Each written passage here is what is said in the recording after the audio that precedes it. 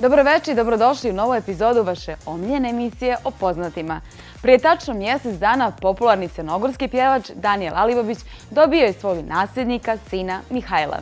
Pred objektivom naše kamere otkriva kako se osjeća sada kao novopečani tata i kome je posvećena njegova nova pjesma za koju tvrdi da će biti njegov najveći hit u karijeri. Za srce si me jednom Očaj dovela na bolna vukla Ko kamikaza još za tobom lud Tebe tražim da bi me dotukla Omiljeni crnogorski pjevač Daniel Alibović 7. januara dobio je svog nasljednika, sina Mihajla, a nama otkriva kako se osjeća sada kao novopečeni tata. prvi put u životu osjećaš ono da zapravo stvarno brineš o nekom, voliš nekog, srećan si, imaš mnogo motiva da stvaraš, da radiš, da... Znaš, to su neke stvari koje zaista teško mogu da se riječima opišu. To je nešto što je najljepše što može bilo kome da se desi u životu. Prvih sigurno jedan dobar period od nekih 10-15 dana nisam ja baš mnogo bio svjestan e kao ja sam postao tata, to je moje dijete. I onda mislim, kad ga vidim, ono kao to je vrhunac ljubavi, vrhunac sreće, to je to kao. I sutra dan u stvari to mnogo jače još. I nema tu kraja, to je sve, svakim danom sve jače i jače. Tako da, ne znam, ljudi pravite djecu. Dolazak bebe u život znači rastanak s dugim i bezbrižnim snom. S obzirom da često nastupa do kasno, zanimalo nas je kako će mu pasti neprespavane noći. A vidi, ja kod kuće imam suprugu koja, ovo je već, da kažem, drugo iskustvo, tako da ona već e, je upoznata sa malom bebom i onda mi je s te strane mnogo lakše da mogu da se organizujem, da mogu da radim, jer e, e, je ona na taj način skoncentrisana i na naše dijete i na to da mu ne fali ništa. E sad, kad ne radim, ja sam tu u svakom momentu spreman da uskočim u, u pomoć, ako to tako mogu nazvati. Jer e, ono što ja dela želim da nekako podijelim i sa ljudima koje volim i sa svim drugima je da je to bogatstvo koje nema cijenu. Mnogi su se pitali zašto je svom nasljedniku dao ime Mihajlo. To je ime koje je simbolično kada smo moje supruge i ja u pitanju. Mi imamo neku priču vezanu za to ime, a iz druge strane moj i deda se zvao Mihajlo sa majčine strane, kojeg sam mnogo volio, za kojeg sam bio jako vezan. I onda mi je s te strane još više bilo stalo da se moj sin zove Mihajlo, a na kraju ono što je značenje tog imena je da je to dar od Boga i ja sam na tome jako zahvalan. A da je djevojčica kako bi se zvala? E to ne znam, ali jedva čekam djevojčicu. Već skoro tri godine uživa u velikoj ljubavi sa svojom izabranicom Bibom Barović, dok njegova nova pjesma, za koju smatra da će biti veliki hit u njegovoj karijeri, bit će posvećena upravo njoj.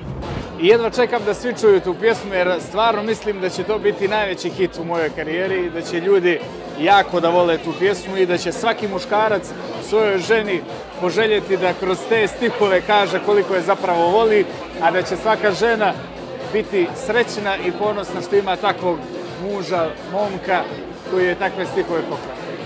A kada možemo da očekujemo? Da li se zna tačan datum? Pa znaš i sama da teško da možemo tim datumima da vladamo, ali ja se iskreno nadam da će u martu to biti sve gotovo. Ja sam svoj dio posla završio, snimio sam e, glas svoj, e, ostalo je sada da se produkcijski to i aranžerski e, finalizira i da se snimi spot za tu pjesmu i ja se negdje iskreno nadam da će mart biti mjesec kad će sigurno biti premjerno izvedeno. Daniela smo ispratili na nastup i zakazali novo druženje čim nam uputi poziv za promociju njegove nove pjesme za koju ne sumnjamo da će biti veliki hit kao i sve do sada.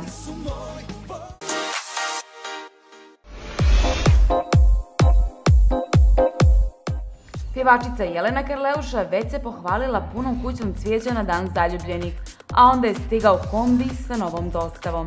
Jelena je sve snimila i objavila na društvenim mrežama. Kasnije je objavila snimak na kom se vidi njen suprug Duško Tošić, pa su svi pretpostavili da je od njega dobila raskošne bukete ruža. Uprkos činjenici da se o njihovom odnosu ne oglašavaju, posljednja objava Jelene Karleuše daje do znanja da su ipak uspjeli da pronađu zajednički jezik.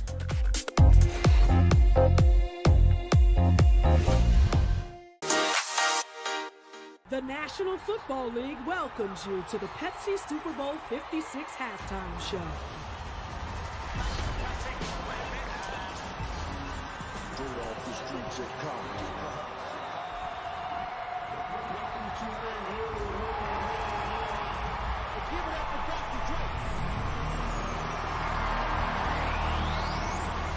Održano je 56. izdanje najvećeg sportskog događaja u Sjedinjenim američkim državama.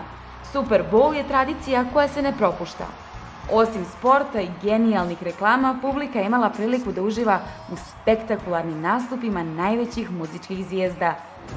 Sve to skupo odvijalo se u tradicionalnom halftime show koji je ovaj put bio posvećen hip-hop nostalgiji. U 15-minutnom nastupu ovaj put imali ste prilike vidjeti legende kao što su Eminem, Kendrick Lamar, Mary J. Blige, Snoop Dogg i Dr. Dre, koji su svojim nastupom zapalili publikum, ali i internet.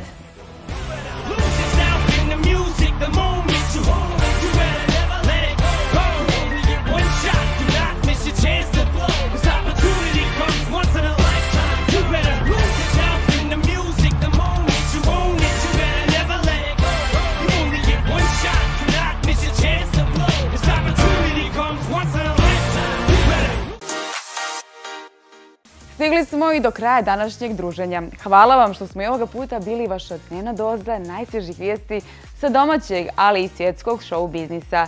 Sutra nastavljamo u istom ritmu od 19.30 časova. A vi ne zaboravite na aktualni konkurs i prijave za festival Naše more, naše skale koji organizuje naša medijska grupa Adrije Jadran. Želim vam ugodan ostatak večeri.